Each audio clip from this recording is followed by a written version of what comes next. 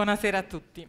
Una piccola premessa. Mi hanno chiesto di fare un intervento inspirational, no? come si dice in gergo, per essere coerenti col, con il tema, con lo spirito del TED.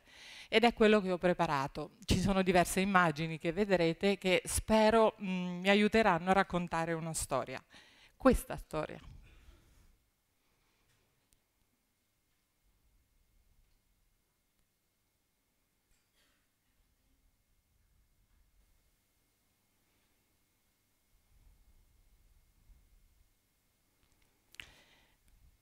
Vi abbiamo incuriosito un pochino?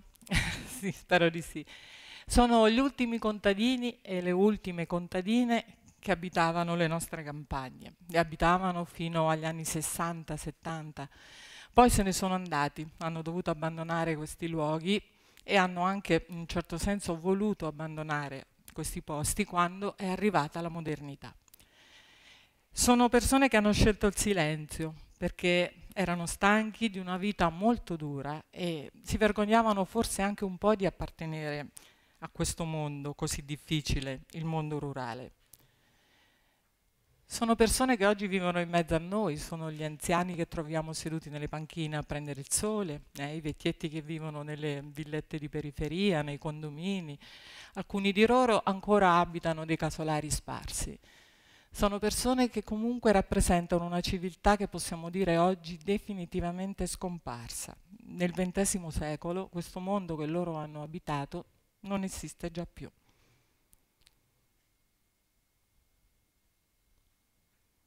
Ringrazio un giovane fotografo scolano, mh, mm, Alessio Panichi, per questa bella foto che ci ha regalato, è un vigneto del Piceno.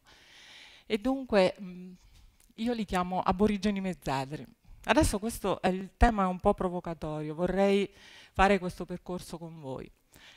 Diciamo che il termine aborigeno è un termine che si riferisce ad una figura che nella storia dell'Occidente praticamente non è mai esistita.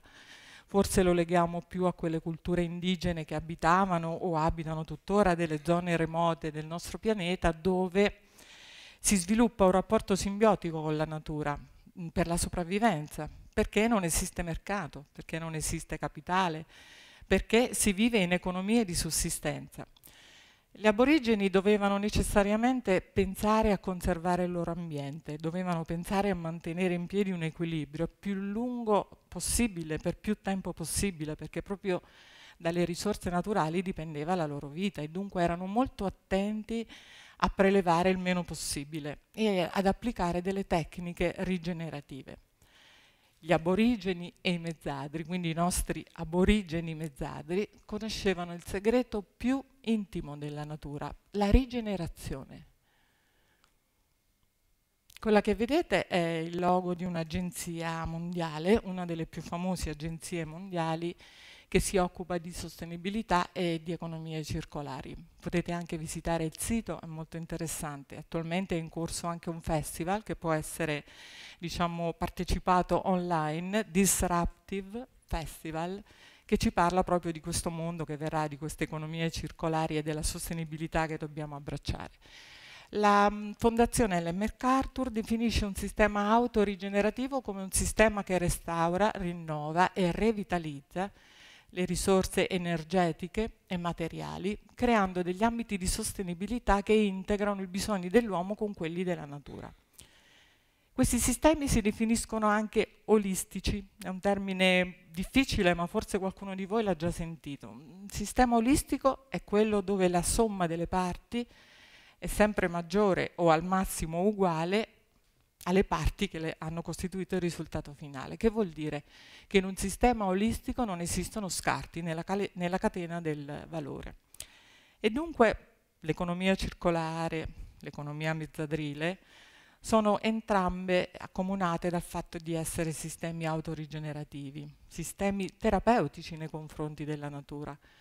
Pensiamo dunque ai nostri contadini e alle nostre contadine, pensiamo a questi anziani no? che dovevano passare questa vita nella loro terra, in campagna, che dovevano curare i boschi, anche il termine curare dovevano preoccuparsi del suolo, evitare l'erosione delle piogge, dovevano rifertilizzare la terra, dovevano sostanzialmente conservare questo ambiente nella miglior forma possibile, nella migliore salubrità possibile, perché da questo dipendeva la loro vita.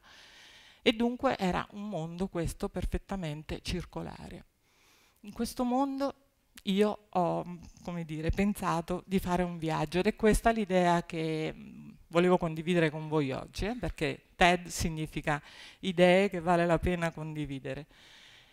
La mia idea è quella di togliere questi contadini, queste contadine, queste donne da questo ambito del folklore, dove per anni noi li abbiamo relegati. Perché considerati antichi, desueti, considerate figure del passato interessanti, sì, però insomma non più di tanto, no?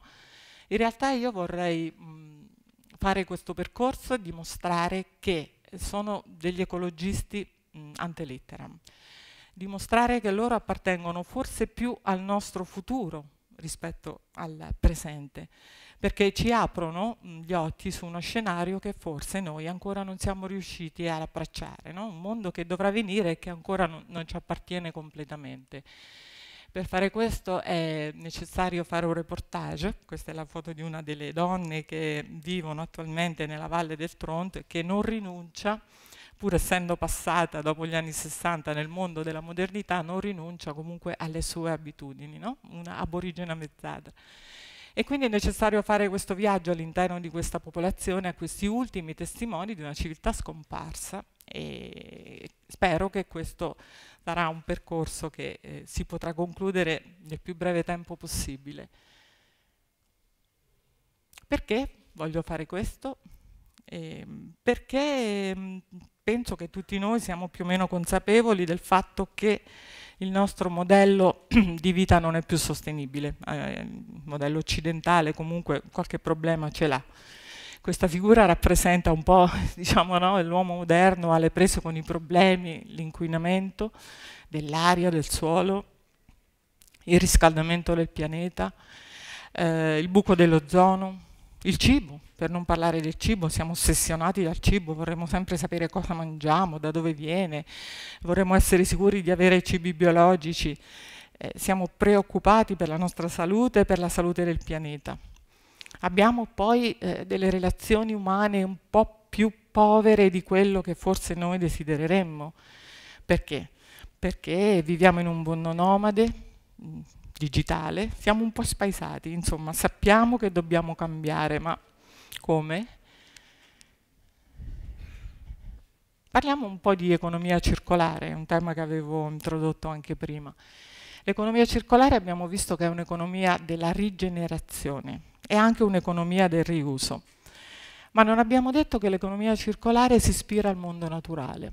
Il mondo naturale, che è quello che adesso vi faccio brevemente vedere in questo video, per esempio di uno sterco raro, di un piccolo scarabeo che utilizza il letame dei grandi mammiferi per costruire la sua casa e per alimentarsi e dunque in natura le materie circolano da uno stato all'altro senza generare rifiuti, non ci sono discariche in natura. E come succede con, eh, col mondo naturale, anche nell'economia circolare il primo principio ci insegna che i rifiuti di una specie sono cibo per un'altra specie, dunque le cose, gli esseri nascono, vivono, muoiono, poi tornano alla terra e così tutto funziona, il mondo va avanti così. E questo mondo non è forse anche il mondo dei nostri mezzadri, di questo piccolo podere chiuso dove non c'era mercato, non c'è la capitale, non c'era economia, dove si doveva coltivare la terra per dare poi al proprietario che te l'aveva dato in gestione il 50% delle tue risorse. Il mezzadro viveva in un mondo naturalmente circolare, a rifiuti zero, un mondo che veniva da molto lontano veniva dagli antenati. Lui aveva a disposizione la sapienza, la conoscenza degli antenati, degli antenati, degli antenati.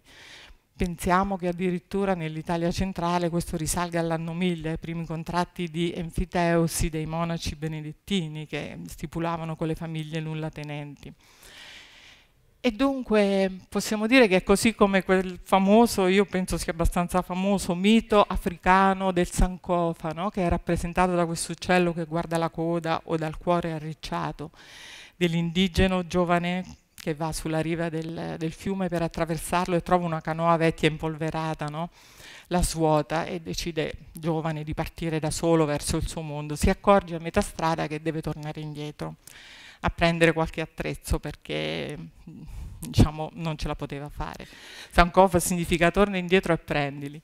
E anche nel nostro mondo degli aborigeni, i nostri personalissimi aborigeni dell'Italia centrale, esisteva questo mm, tempo che io chiamo il tempo sospeso. Il tempo nel quale le donne, le nonne, le figlie, le mamme, i bambini, si raccontavano le memorie, condividevano questo sapere mm, attraverso gli stornelli, attraverso le barzellette, attraverso le favole, attraverso diciamo, tutta quella narrativa che apparteneva al mondo contadino e che si sviluppava in un momento preciso, il momento della cura, quando si stava in casa, quando si facevano le faccende domestiche, quando si mm, accudivano gli anziani o piuttosto i bambini, questo tempo della cura, tempo sospeso, il tempo della narrazione, era il tempo delle donne, le mamme, le nonne, zie, pensate anche le nubili aggregate alla famiglia mezzaderile. E da queste donne è da qui che io vi propongo di ripartire, perché le donne sono i custodi della saggezza, di un sapere senza tempo che forse ci può aiutare a guardare il nostro futuro. Grazie. Grazie. Grazie.